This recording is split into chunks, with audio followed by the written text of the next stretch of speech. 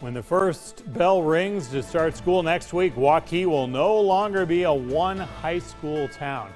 Community School District unveiled Northwest High School this afternoon. Todd Simmons shows us what people thought about it and why the community needed this second high school. This was Waukee's vision for a new high school on the edge of the city.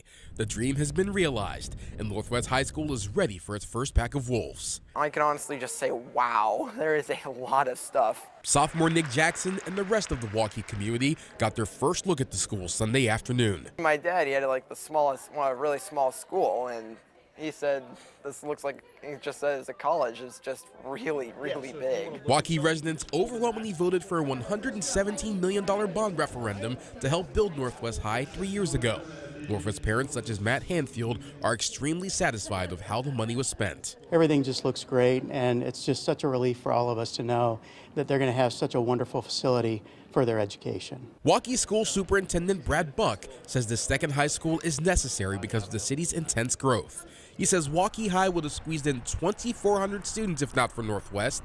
Now, using some grade school division, both schools will have about 1,200 students. It'll feel like there's not a lot of students here probably with uh, the opening of this year, uh, but within five to eight years, uh, this building will have grown another two or three hundred students. Northwest's inaugural class is already embracing the school spirit, and Principal Farouz Bashara cannot wait to see how her students learn. They are excited to come in and, and to be at a school with their peers in a brand new building that is bright and colorful. Some students can't wait to call it home either, even if it does come with a few adjustments. I think I'm gonna get lost. I've only been in here for like this band room and just go in the gym. So there's a lot to do. There's a lot. In Waukee, Taj Simmons, WHO 13 News.